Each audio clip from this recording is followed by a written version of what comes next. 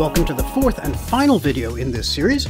We're building a PiDP-11. This is a scaled replica of the Digital Equipment Corporation's seminal mini computer, the PDP-11. In part 1, we prepared the Raspberry Pi which drives the replica. In part 2, we soldered the dozens of fiddly passive components. In part 3, we finished up all of our soldering, and now it's time to assemble everything and test it out. Let's continue the build. We're taking the board back to the workbench, and on our way, we want to pick up the case shell and that front panel. The front panel is made of Perspex. It should have one side painted and one side covered in protective plastic. Time for the big reveal. Peel back the plastic, and there you have a fair facsimile of a PDP 1170 panel. Now don't bend the plastic wrap just yet, we're going to reuse a bit. Set the shell face down on the bench. Lay the panel into it, face down, and that's the painted side toward you. Our kit should include a set of metal standoffs. Screw the panel down to the shell with those standoffs. Don't over tighten, you could crack the panel. Grab that piece of plastic you just peeled off.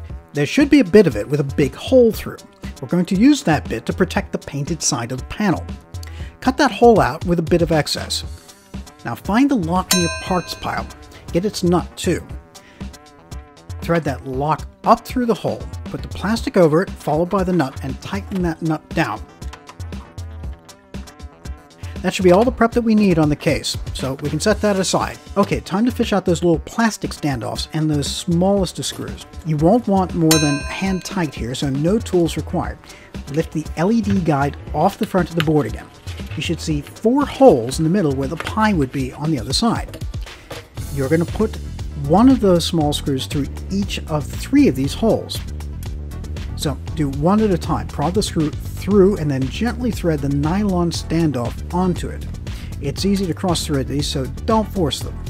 The pressure of a finger on the screw head and a finger tight on the other side, that should be enough. You'll want to make sure that you populate both holes of the opposite side of the Pi from the GPIO port. The port will provide some support all by itself. You can use the third screw on its side. Now take your Pi, locate that on the mounting holes against those standoffs and the GPIO port, and gently push it home. There should be three tiny nuts to go with those studs now poking through the Pi. So patiently thread those on, trying not to cross thread, and again, finger tight should do here. Your hardware supply should be down to some large self-tapping screws and five machine screws and nuts. The machine screws go all around the corners and then one in the, the middle at the top. These will locate into the case shell. You need to mount all five and thread the nuts onto these facing forward. The nuts are actually used only as spacers, so uh, when you put the screws in, you want to spin the nuts on the whole way and then maybe back them off part of a turn. Okay, uh, and the idea here is that they're only just tight enough so that they turn when you go to screw them into the case.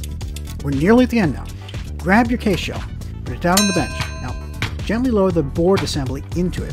You're pretty safe holding it by the Pi. Try to make sure you're lining up the screws with the threads in the case. Now try tightening just one down until it about bites. You want to leave it loose enough to adjust in a minute. Do a second corner, so that now you've located the whole thing. Then you can go around all the other screws. Once you've done that, turn it over and have a look at the switches to see whether they line up with the moldings on the case. If you're happy with that, great. Otherwise you can budget a little bit this way or that way before going back and tightening the screws down. Turn the case over. I put mine on its stand so I can see better. We need to mount the knobs. Other than a couple of big self-tappers, they should be the only hardware left. Each knob is fixed in place with a little grub screw. Using the screwdriver, back the grub screw out just enough to allow the knob to go over the rotary switch post. The grub screw should go into the flat of the rotary switch shaft. Lift the knob up at least 2 millimeters from the surface of the faceplate, so there's a little bit of clearance. If things flex, this will keep the knob from scratching the faceplate. Then cinch the screw down just tight enough to hold it. Do that all again with the second knob. One last step. This is the back case panel. If you already know how you want to do the cables, then you can do all the cable mounting and tidying up now. I hadn't made up my mind which mods I really wanted to make, so instead I mounted the back panel just to get the screws tapped in.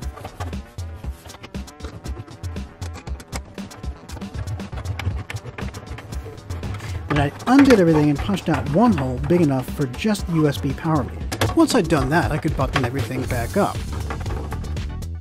Power on! A few seconds pass before the boot completes and the lamps come up. Time to test the switches. Flip the halt switch down. Now that should stop the machine. If it does, then the switch checks out. Move the switch back up, then toggle the continue switch. If everything starts moving again, you're doing well. Halt the machine again. Now twist that top rotary dial until it's in the confiz position. With all the data switches 0 to 21 down, lift the deposit switch. That should clear the bottom row of LEDs. Now that validates the deposit switch is working.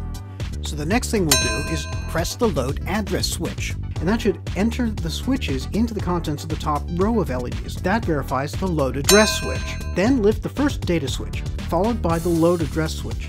That lights the first lamp in the top row and proves the switch is working. Set each switch in the data row and do the load address again and again.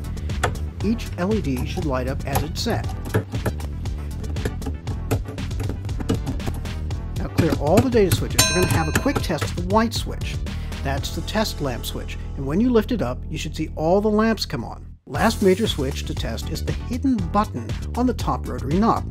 Make sure the halt switch is up and then press that button. The effect is to jump to a new disk image. The first six switches on the right, pick which one of the disk images you're going to run. Since we've cleared all the data switches, we get a choice of zero, which happens to be what we were running in the first place. Effectively, this is just a reset. If that all tests out, you're finished the build. So the last thing you do is shut down the machine. Once again setting the halt switch, if you press that top knob again, instead of resetting into a different image, it's going to shut down the Pi. Give it about 30 seconds before taking the power off, okay? Instructions on how to use the PiDP11 are in the manual and you can download that from Oscar's site. But for now, let me thank you all for watching this series. If you thought this was useful, give it a like. And if vintage technology and computing are your thing, please subscribe to this channel. We'll have plenty more videos coming up.